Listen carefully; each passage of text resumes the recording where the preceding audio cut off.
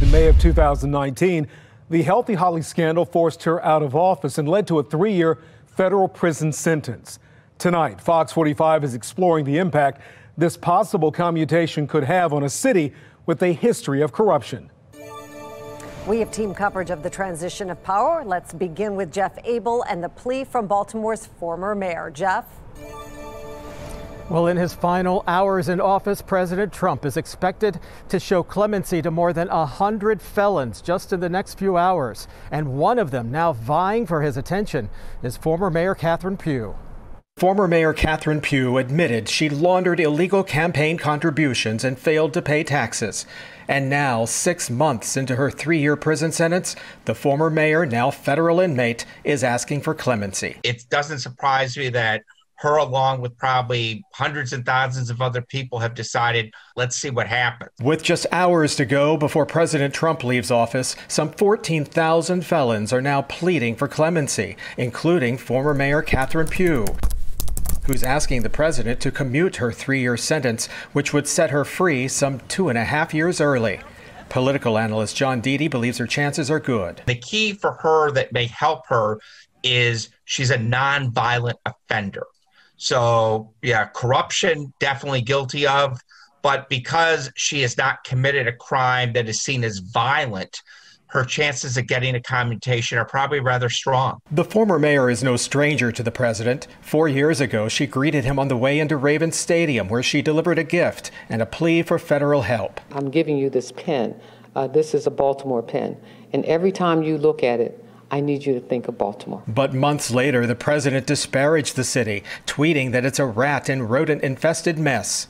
Now, the former mayor hopes for a more positive response with one final request of the president. Her pardon, among a lot of people, would cause some outrage in Baltimore because here's another politician getting off the hook. I think because of a lot of factors, it would soon probably be forgotten quickly.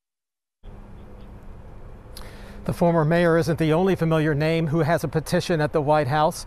Also asking for clemency, we're learning tonight, is former mayor or former police commissioner Ed Norris and former police sergeant Thomas Allers, who's serving 15 years in prison for his role in the now defunct police task force. Maryland lawmakers taking an unprecedented step to make schools safer. It's Project Baltimore's Chris Papst explains officials continue to react to a Fox 45 News investigation that found a sex offender who was 21 years old was taking classes at a local high school. It's hard to believe that something like this could happen in the first place. A registered sex offender enrolled as a student at Parkville High School. But now, lawmakers tell us a bill is currently in the legislature that would make Maryland the first state in the country to ensure that it cannot happen again. We, we, just want to ask her why she allowed a 21 year old convicted sex offender to take classes in this school. When Project Baltimore first broke the news in January 2020, the community was stunned. How can this man, this uh, sex offender, be on the registry and still be sitting in a classroom with kids all around him? I was outraged. The taxpayers ought to be outraged. Santino Sudano, a 21 year old registered sex offender enrolled at Parkville High School. He was taking classes until he was arrested a second time in December 2019, charged with second degree rape in a case involving a 15 year old county student. Soon after, a third underage victim came forward with similar accusations, leading to additional sexual assault charges. I cried. I cried tears of joy. I cheered to my boyfriend that I was finally getting justice after two years. Sudano is currently in jail without bond. His trial is set for May. We want our kids safe, and we don't want sexual predators with them. When Fox 45 News broke the story, legislation was introduced in Annapolis to ban sex offenders from being students in a public school. It was passed unanimously in the Senate. Governor Larry Hogan supported it. But due to COVID, session ended early before the House could vote on it. I think it's shameful that the superintendent and the, and the principal here could not use some common sense to realize that's not a type of individual that you should let in this school. Now, one year later, the bill has been updated and reintroduced as House Bill 48. Delegate Joseph Boteler supports the legislation, along with sponsors Delegates Carl Jackson and Harry Bhandari. All of them represent Parkville. But it is, I think, a very good bill, and it takes that authority away from the superintendents and, and the principals like we had here at Parkville from making that decision as to what do we do with these sexual offenders. The legislation bans convicted sex offenders from being students inside Maryland public schools while setting up alternative means to educate them outside of the classroom. The bill also includes a penalty of up to five years in jail and $5,000 in fines if someone knowingly allows a sex offender into a school. The Parkville delegation tells Project Baltimore this bill is precedent setting. No other state in the country has taken similar action to protect students, and they hope others will follow Maryland. You know, if you're a parent and you got your child here, you'll know that at least they'll be protected from that kind of an individual. Because I think we have a responsibility to make sure that our children, when they're coming to these schools and they're being educated, that we protect them. The bill is considered emergency legislation, meaning if it is passed, it would take effect immediately. Project Baltimore will be following the bill as it makes its way through the legislature, and we will keep you updated.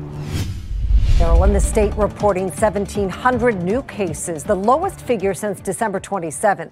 Sadly, another 29 Marylanders have died, and the state has now administered more than a quarter million doses of the coronavirus vaccine. But there is concern tonight that the vaccination plan in Maryland may soon outpace the supply.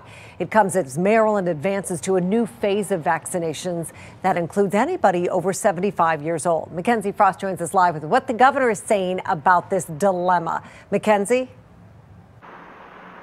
Mary, Governor Larry Hogan is warning Marylanders today's expansion greenlights more than 850,000 people to get the COVID 19 vaccine. But the problem, the state is only getting about 10,000 doses a day. And right now, the federal government says it's not planning on sending any more out to states for at least a few weeks.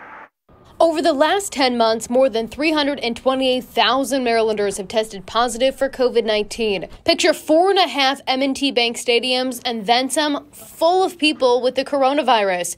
Fast forward to now, Governor Larry Hogan rolling up his sleeve to get the first of the two dose COVID 19 vaccine. Wow, didn't he feel it? encouraging everyone who can to do the same. It's the only way to end the damage to our economy and to bring this pandemic to an end. As of today, 21,800 Marylanders have been fully vaccinated, meaning 0.01% of the entire state who are eligible have gotten both doses. We have a pretty good plan. Despite dwindling supply nationally, Maryland moving forward, allowing more people to sign up for an appointment to get a vaccine. But the state's top doctor overseeing the rollout telling me on Friday they are anticipating um, continuing roughly the same allocations that states are currently getting. Today, the governor bluntly saying the demand is outpacing the supply coming from the federal government. They're giving them to us at uh, 10,000 a day. Uh, on Saturday, we did 25,000.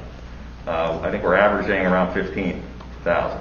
So 50% more than we're getting. That's why I kept saying we're going to run out. Hogan looking to a Biden administration for change. The president elect outlining a plan to speed up production and plans to use the Defense Production Act. The timing of the expansion unknown, while any federal stockpile of the vaccines is gone. Meantime, Baltimore City's health department has no open appointments for the rest of January for people looking to get their first dose of the vaccine.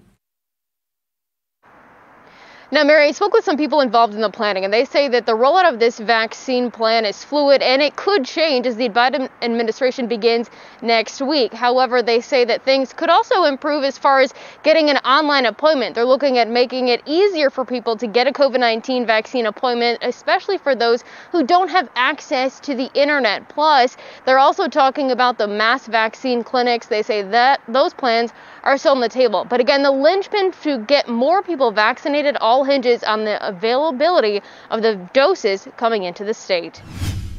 On the path forward for restaurants in Baltimore, Friday, Mayor Brandon Scott chose not to lift restrictions on dining. Well, this weekend, some of the businesses impacted by the city's COVID mandates were able to speak directly to the man calling the shots. Fox 45 reporter Amy Simpson live tonight with what we know about that meeting. Amy? Mary, I'm told about two dozen restaurants were part of this virtual conversation with the mayor just yesterday to talk about restrictions and frustrations. It was a chance to have their voices heard. They are feeling desperate and they don't know how much longer they're going to be able to hold out with these restrictions. The president and CEO of the Restaurant Association of Maryland tells Fox 45 News he was a listener for Sunday's focus group discussion with Mayor Brandon Scott. They really impressed upon the mayor that uh, they need a timeline for when these restrictions are going to be list- lifted uh, and that way they can make decisions on whether or not to close or to maybe try to hang on for another week or two. Thank you for calling Amicci's. Can I help you? The city's restaurants have been restricted to takeout only operations since December 11th. Restaurants on the call reportedly told the mayor they're frustrated that customers can visit surrounding counties to dine with fewer restrictions. They also told him they need financial help to survive. I thought the mayor was uh, very receptive. But again, our decisions are made on public health. Period. Scott has said time and time again he's tracking hospitalizations, case rate, and COVID deaths to guide restrictions. No decisions were made at this meeting. Uh, there were no commitments on any end. In a statement to Fox 45 News, the mayor's office calls the meeting productive and says both sides will keep an open line of communication as the pandemic continues.